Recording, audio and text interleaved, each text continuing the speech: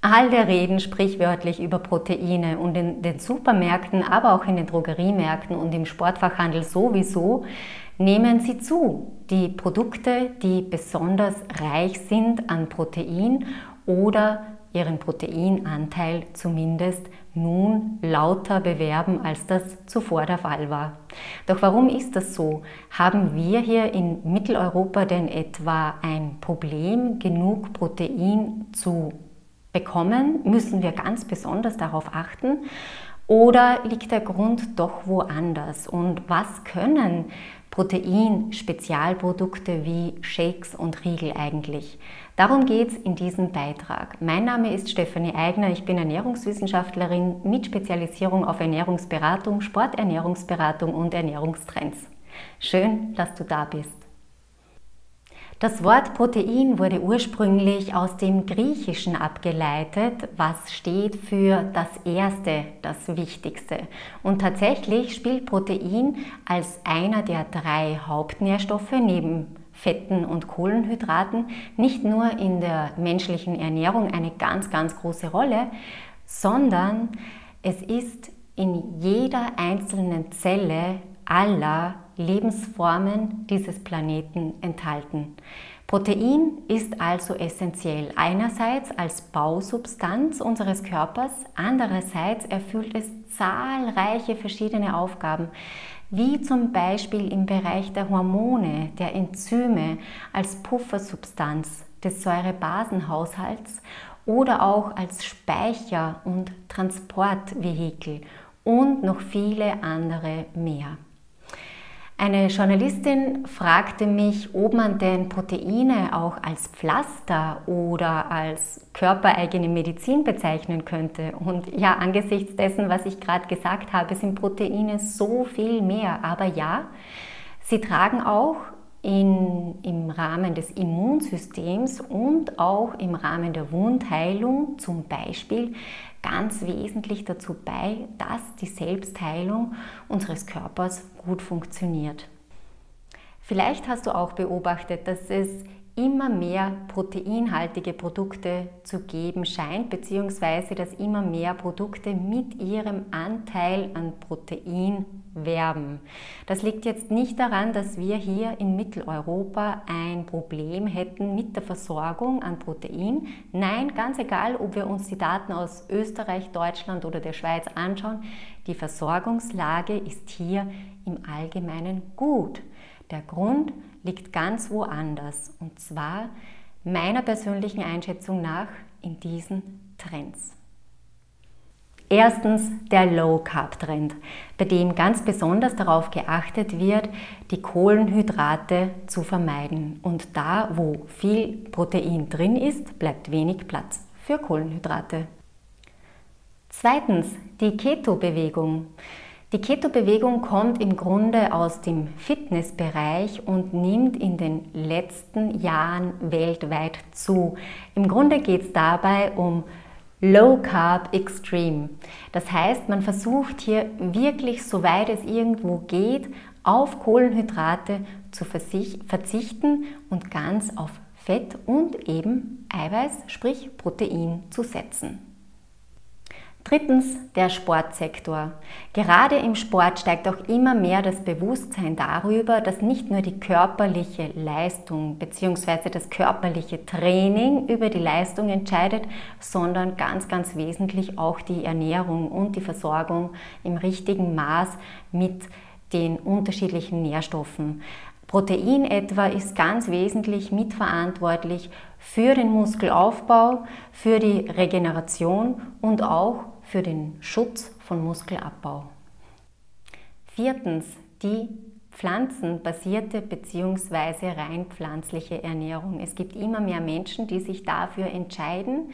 Dabei ist es so, dass die pflanzlichen Lebensmittel weniger äh, Eiweiß enthalten als die tierischen Lebensmittel und diesen Fakt nutzen offensichtlich gewisse Hersteller, um speziell diese Personengruppe, diese wachsende Personengruppe anzusprechen und auf ihre Produkte aufmerksam zu machen.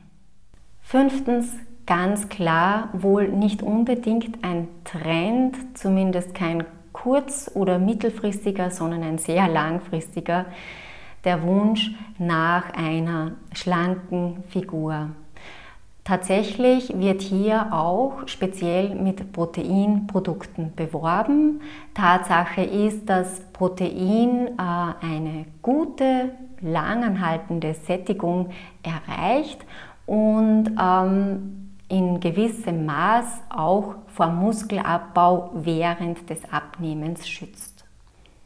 Und abschließend, wir werden immer älter. Wir werden aber nicht nur immer älter, wir wollen auch lange fit und gesund bleiben und dazu braucht es eine gute Muskulatur und auch gute Knochen.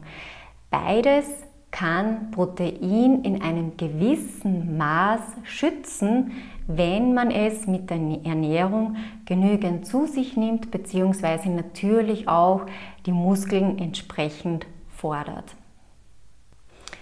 Nun, wie viel Eiweiß brauchen wir pro Tag aber wirklich?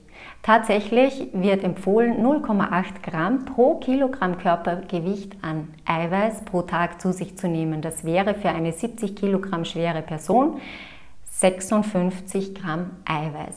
Das ist ganz leicht zu erreichen, ohne Schnickschnack, ohne Extras und sonst was, mit ganz normalen Lebensmitteln. Und zwar zum Beispiel mit ähm, einem Porridge zum Frühstück, mit einer Linsensuppe mit Schwarzbrot mittags und mit einem Omelett mit Feta und Tomaten am Abend. Damit hat sie sogar mehr als die 56 Gramm Eiweiß konsumiert und noch gar nichts gesnackt. Diese 0,8 Gramm gelten nun für Erwachsene, gesunde Erwachsene, die nicht exzessiv Sport betreiben. Mehr Eiweiß brauchen Babys, Kinder, Jugendliche ganz klar, weil sie sehr stark im Wachstum sind. Mehr Protein brauchen auch Schwangere und Stillende. Mehr Protein wird mittlerweile auch Personen ab 65 Jahren empfohlen, weil man hier dem äh, Muskelabbau und dem Knochenabbau indirekt entgegenwirken will. Und mehr Eiweiß wird auch benötigt, wenn gewisse Sportarten sehr intensiv betrieben werden, wie etwa im Ultra-Ausdauersport oder auch im Kraftsport, wenn besonders viel Muskelmasse aufgebaut werden muss.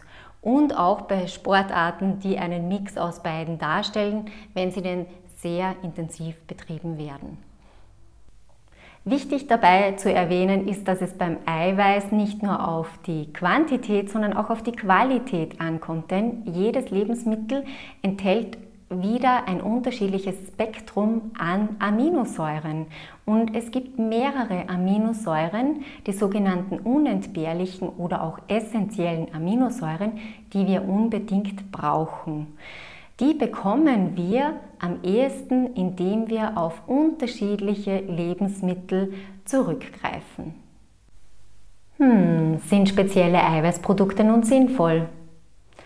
Ja, es gibt tatsächlich Fälle, in denen diverse Shakes und Riegel absolut ihren Sinn haben. Zum Beispiel für Ultra-Ausdauersportler, die ich ja heute schon mal genannt habe, wenn sie mehrere Stunden oder sogar Tage unterwegs sind und hier einen sehr hohen Eiweißbedarf haben und gleichzeitig sehr praktische Lebensmittel brauchen, die schlicht und einfach abgepackt sind und einfach zu transportieren und mitzunehmen sind. Ein anderer Fall sind Personen mit gewissen sehr zehrenden Erkrankungen, wo es wirklich darum geht, dass sie zu Kräften kommen. Personen, die vielleicht auch wenig Appetit haben, die Probleme haben mit dem Schlucken, hier machen natürlich spezielle Shakes absolut Sinn. Tja, und wer natürlich sonst noch profitiert von diesem Eiweißtrend, den Shakes, Riegeln und so weiter, das sind natürlich die Lebensmittelhersteller, wenn sie merken, die lassen sich ganz besonders gut verkaufen und daran ist die Bevölkerung sehr interessiert. Und zum Schluss mein Tipp, wenn du ein Lebensmittel in der Hand hältst, das ganz besonders auf seinen Proteingehalt oder auf den Gehalt eines anderen Nährstoffs hinweist, Dreh es mal um und schau mal, was da so alles drinnen ist. Das kann jetzt sein, dass das ein ganz normaler Cottage Cheese ist, der sich überhaupt nicht unterscheidet von seinem Nachbarn im Regal, nur dass er oben einfach groß stehen hat, proteinhältig. Oder dass es um ein Produkt geht, das in seiner Zusammensetzung relativ künstlich ist, sagen wir mal so, vielleicht auch sehr viel Zucker enthält und Zusatzstoffe, Farbstoffe, andere Inhaltsstoffe, die eher nicht so sehr in dem Maß zu empfehlen oder gar notwendig sind. Ich hoffe, dir hat der Beitrag gefallen und Spaß gemacht. Ich würde mich über ein Like freuen, wenn das so ist und abonniere doch gern meinen Kanal, wenn du keine Beiträge mehr versäumen willst. Alles Liebe, ciao!